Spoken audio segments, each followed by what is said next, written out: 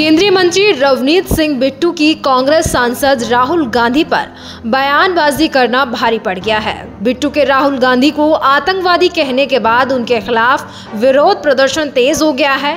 कांग्रेस इस बयान से आग बबूला है और आज दिल्ली से लेकर हैदराबाद तक विरोध प्रदर्शन कर रहे हैं। कांग्रेस कार्यकर्ताओं ने कई जगह रवनीत सिंह बिट्टू के पुतले फूके, साथ ही दिल्ली बीजेपी ऑफ़िस के सामने भी प्रदर्शन किया। इसमें यूथ कांग्रेस के कार्यकर्ता बड़ी संख्या में शामिल हुए।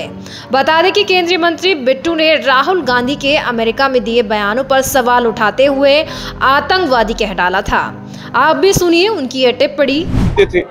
अब उन्होंने सेपरेट ग्रुप हैं जो, सबसे जो माहिर हैं बम, बंदूक, गोला बारूद बनाने वालों ने, उन्होंने राहुल गांधी की जो बात है, उसे सराहा है। और उनकी बात राहुल गांधी ने कही है, आप ये देख लीजिए जो देश के दुश्मन, जो बरूद, गोली हर टाइम मारने की कोशिश करते हैं, उड़ाने की कोशिश करते हैं, जहाजों को, ट्रेन को रोड को।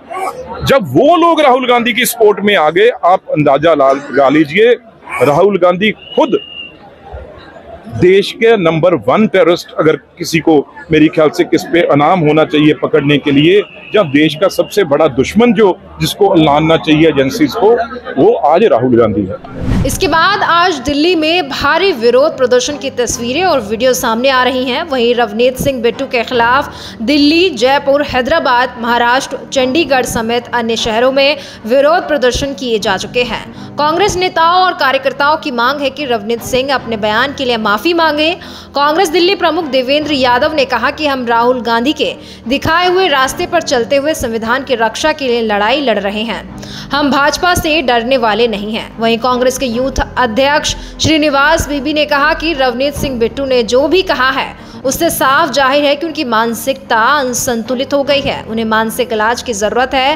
कांग्रेस नेता ने आगे कहा कि वो बार बार अपने कुछ नेताओं को खुश करने के लिए भाजपा की गलतियों, जैसे महँगाई, भ्रष्टाचार, बेरोजगारी और पेपर लीक समेत अन्य ज़रूरी मामलों को डाइवर्ट करने के लिए इस तरह की बयानबाजी कर रहे हैं। ये सब के बाद रवनीत सिंह बिट्टू का भी बयान सामने आया। उन्होंने कहा कि कांग्रेस अपने पुराने ढर्रे पर वापस आ गई है। ये भी सुनिए। देखो खड़गे साहब टेररिस्ट किसको कहा जाता है? जो टेररिस्ट की बात एंडोर्स करे, जो टेररिज्म को प्रमोट करे।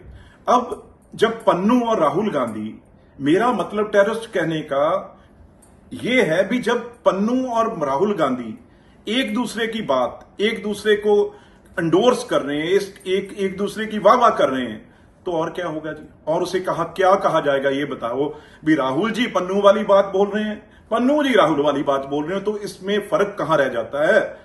खड़गे साहब, ये बात पे आप अपनी स्थिति और कांग्रेस पार्टी स्पष्ट करें। वहीं दिल्ली हाईकोर्ट में सुरजीत सिंह यादव ने याचिका दाखिल करते हुए मांग की है कि राहुल गांधी के खिलाफ इस बयान के नवनीत सिंह बिट्टू के मामला दर्ज करने का आदेश दिया जाए, क्योंकि राहुल गांधी के खिलाफ उनके बयान अपमानजनक है। झूठे और मनगढ़ंत है। याचिका में कहा गया है कि राहुल गांधी के खिलाफ बिट्टू की अपमानजनक टिप्पणियों से व्यापक हिंसा और अशांति भड़कने की संभावना है।